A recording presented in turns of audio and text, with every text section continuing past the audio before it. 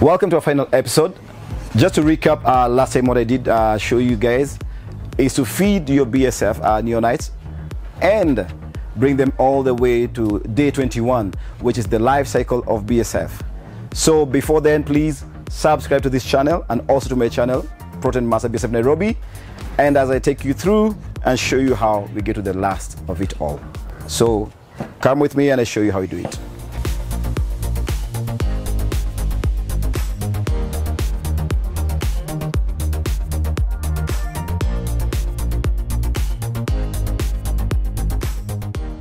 So after the 21 days, remember what I told you guys earlier? What you need to do, look at it. You need to look at your at your feed. The moment you see they're dry, it's it's dry, and uh, you can be able to tell now. Like on this one, you can be able to see your pre-pupae and uh, the instar fives and a little bit of four, and the pupa themselves. So from here is where again you're able to sieve. Here we do another sieving again. Never get out of sieving. So in this sieving, we use the coffee tray. The coffee tray, what happens with the coffee tray? The, the pre-pupae and the larvae themselves, always remember, they don't love, uh, they don't like light. So what they do, they'll burrow in and go under uh, the sieve. And what will be left on top with is the pupae, which again you'll be able to collect and then start your cycle all over again. So let me show you how we do it. So this is how we do it. Remember I told you guys we're using coffee mesh. The size of the, of, of the mesh is uh, 5 mm. That's what we're using, 5 mm coffee mesh. So what happens here, they'll burrow, the larvae will go under, the pre-pupae will go under. What will be left on top are the pupa. I always say pupa are like the old men. They don't move a lot. So they'll be left on top and it will be easy for you guys to harvest. Instead of picking, hand picking one by one, this is the easiest way to do it. So we just allow the larvae to go under and the pre-pupa to go under and will be left on top. So the only thing you can do, you can just do a gentle push. Just a gentle push, just to quicken the process. Because again, when you push so hard, you may push the pupae under and you don't want that. So just a gentle push, just a gentle push and then that's it. These are the results. This is what you're seeing here. So this is how it happens. Now you get your pupae on top. So once we get them this way, we just get them in a crate that way. And these will be able to get them back in the love cage. These are our that we have harvested. So what we get from here, we get them back again to the love cage and then from the love cage again we'll be able to uh, increase our colony in there and be able to continue propagation on that. Got our pupae or and get them back to the love cage.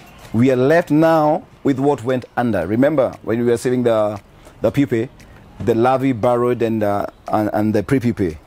So once you get these, assuming these you're 100% harvest. So what we always say, take your 70% uh, on the side, feed your animals, uh, and the rest 30%, please don't feed your animals everything. Get your 30% on the side and then feed them again. Remember we did the second feeding. Now this will be the third feeding. The second feeding we did 2 kg, but this again third feeding will not feed 2 kg, we'll, feed 1 kg. Why 1 kg? Because there are lots of pre-pupae in here and the pre-pupae don't feed, don't eat. They are full already. So the only thing you'll be eating is the few larvae that will be in here. So that's why you do a kg. So from here, please, you'll continue. Again, the process will continue again. You do another sieving that way until you get to the other side.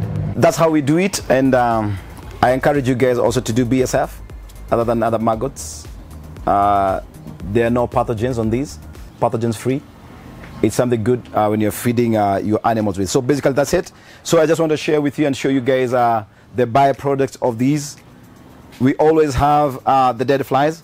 Remember, we always say, in our slogan, we always say, turning waste to wealth. There is no waste that comes out of these. When the dead fly, when your flies die because of the cycle, the fly always, the, the lifespan of the fly is between seven days and 14 days maximum. So once it dies, you don't throw them away. You take them and you feed them to your chicken. The chickens love it because they're also rich in calcium. Uh, from these, We still have the, the fly shells here. The shells again, they're good again. You can be able to crush them. They're also rich in calcium, uh, calcium also. You can crush them and also give them to uh, the chicks, which would be also good. The other byproduct we're having here is the frass. This is the compost, one of the best when you're doing organic farming. One of the best, the finest. This is it. So from that also, this is not a byproduct now. This is what you can do, be able to do uh, to store. When you're doing a lot of production, like mass production, you can be able to dry your your larvae. So here we've got the dried larvae. You can be able to dry your larvae and be able to store them and be able to use them again. So once again, we say thank you so much, and uh, please uh, continue to watch the channel, continue to subscribe on this channel, and also on our channel, Protein Master based in Nairobi. For any information, there'll be contacts here. You can be able to contact and reach out, out to us. Once again, thank you and bye bye.